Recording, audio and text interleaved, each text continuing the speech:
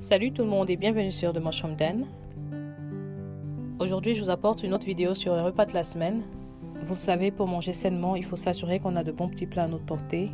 Et dans cette vidéo, je vais partager avec vous de délicieuses recettes de petit déjeuner, déjeuner, dîner et même casse-croûte.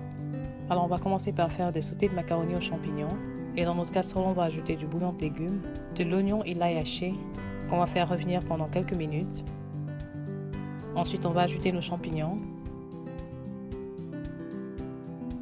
du romarin frais, des poivrons, des carottes, j'en ai des oranges, jaunes et violettes. Ensuite, on va continuer par ajouter de la tomate en boîte, mais vous pouvez utiliser de la tomate fraîche si vous voulez. Et là, je mets un peu de lait de coco, encore un peu de bouillon de légumes, du sel, du poivre. Et enfin les pâtes. Les miennes sont sans gluten et là j'utilise à peu près les trois quarts du paquet. La liste de tous les ingrédients sera en dessous de la vidéo. Alors là on va tout mélanger et laisser mijoter à feu moyen pendant 10 à 15 minutes.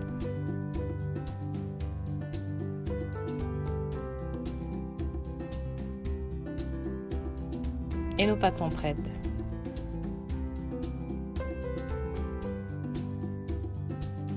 Là, on va passer au tofu. Et là, j'utilise un bloc de tofu super ferme que je vais découper en à peu près 10 portions. Et dans un bol séparé, ajoutez votre sauce de soja, du vinaigre de vin blanc ou n'importe quel autre vinaigre, de l'assaisonnement Old Bay, du piment sec, c'est optionnel, de la poudre d'ail et du poivre. Mélangez le tout à l'aide d'une fourchette. Ensuite, transvasez le mélange dans un sac Ziploc. Ajoutez-y le tofu,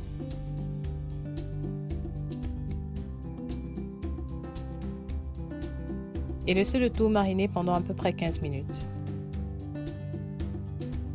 Ensuite, on va les passer au grill que je vais graisser avec de l'huile en aérosol de coco et ajouter nos morceaux de tofu. Si vous n'avez pas de grille, c'est pas grave, vous pouvez utiliser votre four et là on va laisser cuire pendant à peu près 5 minutes. Et voilà ce à quoi il devrait ressembler quand c'est prêt. Il peut servir d'accompagnement pour nos pâtes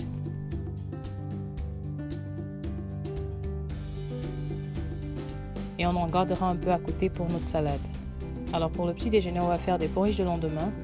Et notre première recette sera à base de beurre de cacahuète et confiture. Alors dans notre pot, on va ajouter des flocons d'avoine, des graines de chia, du beurre de cacahuète, de la confiture de fraises et ensuite du lait d'amande.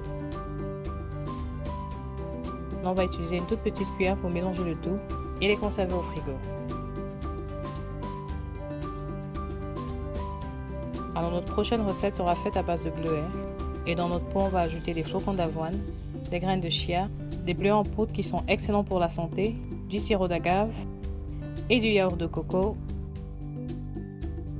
Alors là, on va prendre le temps de bien mélanger le tout avant d'ajouter notre lait, juste comme ça. Ensuite, on va ajouter des bleuets frais. On va finir par ajouter notre lait. Et voilà, on a notre petit déjeuner pour la semaine, complètement sain et délicieux. On va préparer nos casse-croûtes et là je partage avec vous l'une de mes recettes de boules d'énergie. Et dans un bol mixeur, ajoutez de la farine d'amande, des noix de macadam, des canneberges au raisin séché, du sirop d'agave, de l'extrait de vanille et du jus de citron. Écrasez jusqu'à ce que tous les ingrédients soient bien incorporés Et là, c'est prêt. Alors là, j'utilise la mesure d'une cuillère à soupe pour faire chaque boule. Et je vais juste les rouler jusqu'à ce que je puisse obtenir des boules comme celle-ci. Et j'ai pu obtenir 10 boules avec mon mélange. Et ces boules sont délicieuses. Je vous promets, vous aurez du mal à vous retenir et ne pas toutes les manger. Ok, allons-y et mesurons nos portions. Alors on aura des boules d'énergie et aussi des fruits de bois comme casse-croûte. Et là, je mélange des fraises et des bleuets.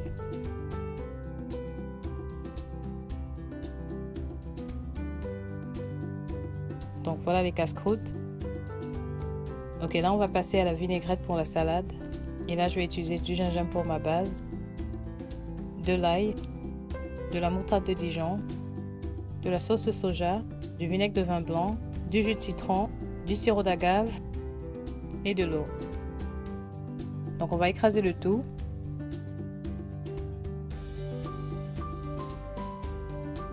Et notre vinaigrette de gingembre est prête. Je vais conserver la vinaigrette dans des petits pots comme ceci. Et j'ai pu conserver ma vinaigrette au frigo pendant au moins 7 jours. Donc enfin, on va passer à la dernière recette et c'est celle de ma salade en pot. Et pour commencer, on va ajouter nos cœurs d'artichaut marinés, de la carotte râpée.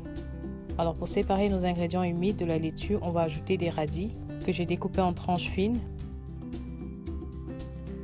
de la tomate séchée, des amandes émincées et les canneberges séchées. Ensuite, on peut continuer par ajouter notre laitue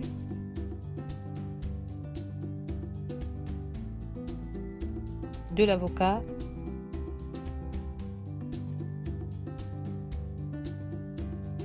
et notre tofu qu'on a découpé en petites tranches. Et c'est tout.